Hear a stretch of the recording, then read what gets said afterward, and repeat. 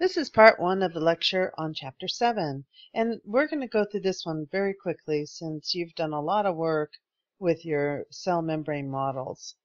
Um, so, first of all, just a quick overview with phospholipids. Um, the cell membrane is made up of, of course, phospholipids, which are amphipathic, meaning that they have both a hydrophilic and a hydrophobic end to them. The top head is the hydrophilic portion because of the phosphate group, and then the hydrophobic portion is the hydrocarbon fatty acid tail. And they, of course, are going to be arranged in the bilayer. So we came to understand what the structure of the bilayer um, model of the cell membrane um, through the work of actually there were two Dutch scientists in 1925 who actually proposed that there were phospholipid bilayers. But in 1972, Singer and Nicolson, the names that you see on the slide here, are the ones that proposed that there were also membrane proteins inside this phospholipid bilayer and that their hydrophilic regions actually would protrude down into the cytosol of the cell. So this was the beginning of the fluid mosaic model. Um, and the hydrophilic regions of proteins and phospholipids um, are in maximum contact with water, and the hydrophobic regions are in the center non-aqueous environment between the two layers of the membrane the role of the plasma membrane um, is first and foremost to separate living, the living cell from its surrounding um, aqueous environment. It's very thin, it's about 8 nanometers thick, um, and it controls traffic in and out of the cell. Um, and what that means is it allows some substances to cross more easily than others. We say it's semi-permeable. The composition of the cell membrane does vary from cell to cell and from organism to organism. Um, and how it varies is um, the different elements that make it up. So first of all, the fat composition can be varied um, depending on where the cell is found. Um, this membrane phospholipid composition um, is important um, First of all, the membrane molecules, these fat molecules, are held in place by some weak hydrophobic interactions. But most of the lipids and some of the proteins even drift laterally in a plane of the membrane, um, but rarely do they flip from one phospholipid to the other. So they stay in the same layer, but they float around and they actually switch positions.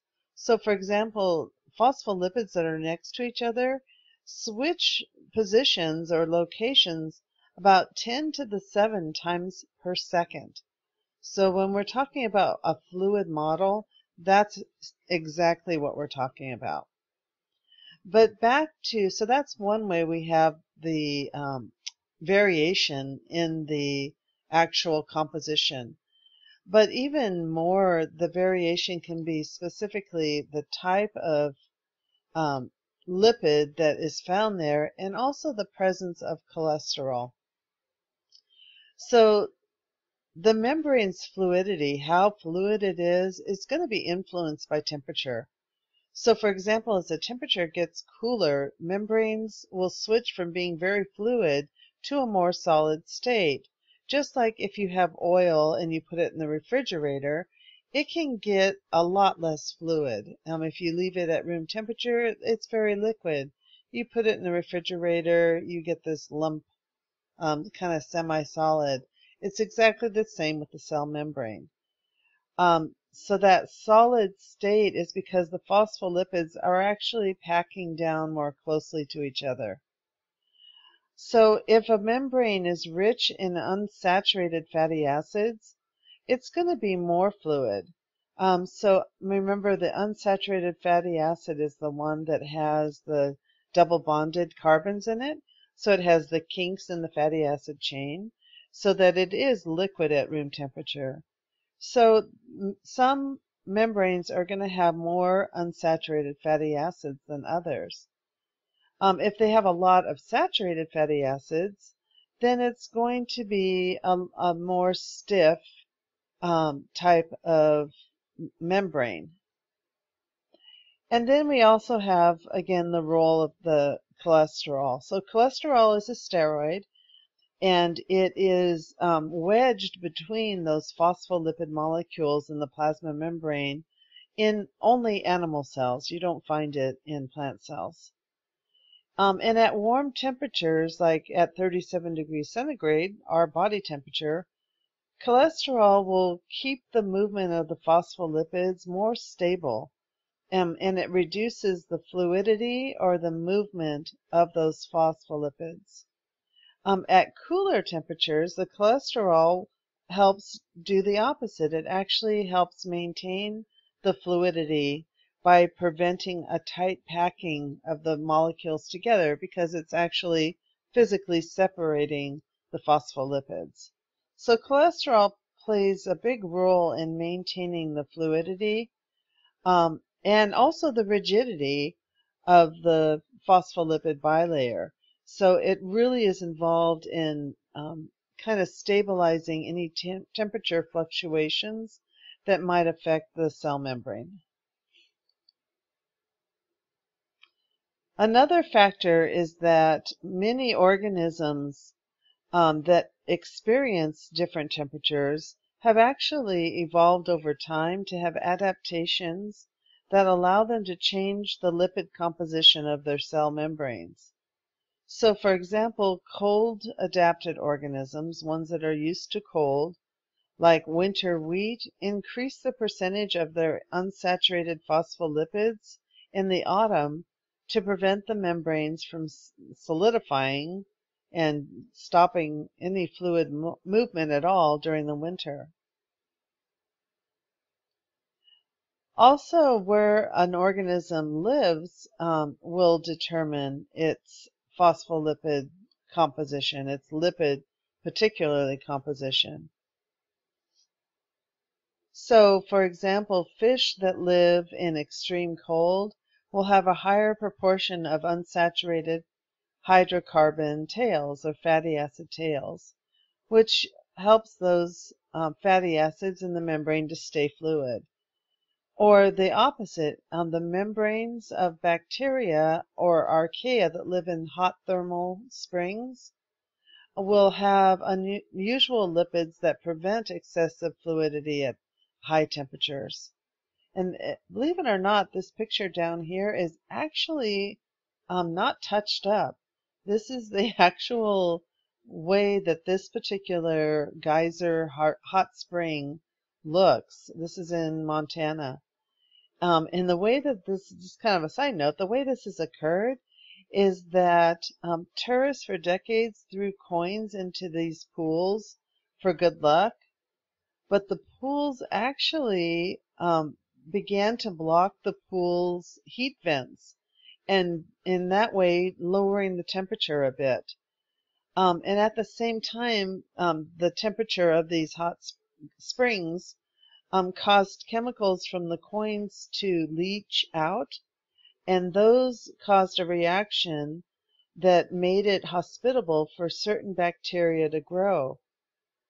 And those bacteria, over time, work their way to the water's edge, which is what is making up this yellow ring. It's actually a bacteria that is making up that yellow ring around the blue center, um, which is actually what it originally looked like. And then this green is a transition color between the blue and the yellow. But unbelievably, these um, algae here um, that are actually a thermophilic bacteria, meaning um, thermophilic meaning they like hot bacteria that can survive the temperature in this hot spring, which even though it is cooled, is still um, can be 107 degrees centigrade. So kind of just a interesting side note. So the next concept I want to talk about is uh, that molecules need to pass through this phospholipid bilayer. And that occurs, um, first of all, through diffusion. So the fats and other lipids that are not polar can actually diffuse through a phospholipid bilayer. So we see here lipids can pass through, um, but very few other things cannot can actually. So anything with a polar charge, like water, or any ions like salts, um, ammonia, um, any large molecules like starches or sugars, um, proteins, the amino acids, these are all large mo molecules. None of those actually can get through this layer. The even though these are fluid, they still are close enough together to not allow certain things, large things, to get through. And they're also, because of their hydrophobic um, properties, um, don't allow anything with a charge or polarity to pass through. So the cell membrane, again, remember that it, one of its major jobs is to be a boundary between the inside and outside or separating the cell from its environment. But at the same time, it does need to get materials in and out. It needs food, carbohydrates, sugars, proteins, amino acids. It needs lipids. It needs salts. It needs gases, um, O2. It needs water. Um, and it also needs to get rid of its waste. Um, it needs to get rid of its CO2. It needs to get rid of water if there's too much. Um, it also needs to ship out products. Um, it needs to get rid of ammonia and maintain a balance of salts. So it may need to also export some salts. So the things that help these larger molecules or these polar molecules to get through the cell membrane are going to be um, protein channels. Um, so if we are actually wanting to use diffusion to move things across the cell membrane, we need a passageway um, to get through the hydrophobic um, composition of the lipid bilayer. And so to do that, um, as you guys again know from your cell models, there are little tunnels made out of protein that are called protein channels that will allow specific materials to cross through. So before we go into um, how those work, the different mo modes of transportation, um, let's go back and revisit the structure of the membrane. So the cell, we've talked about the lipid nature of the cell membrane. Now let's talk about um, the proteins that are embedded and a part of the phospholipid bilayer. So there are um, these channels, and these channels are made out of protein. So that's one of the major um, functions of a protein in the cell membrane. And again, proteins can move um, within the fluid um, bilayer of the cell membrane. So just as the phospholipids are floating along and changing positions, proteins actually can change position as well. So that means these channels can move around in the membrane. And that's an important thing that, especially as we learn some other concepts later in the term, um, it becomes really important that these channels can be moved around. Um, and it's believed actually that some of those pro proteins are actually um, not just floating in their movement, but they're actually being directed in their movement. Um, and there's belief that maybe that's occurring um, by motor proteins within the cell actually walking the protein that is attached to them um, uh, to a different position in the cell membrane.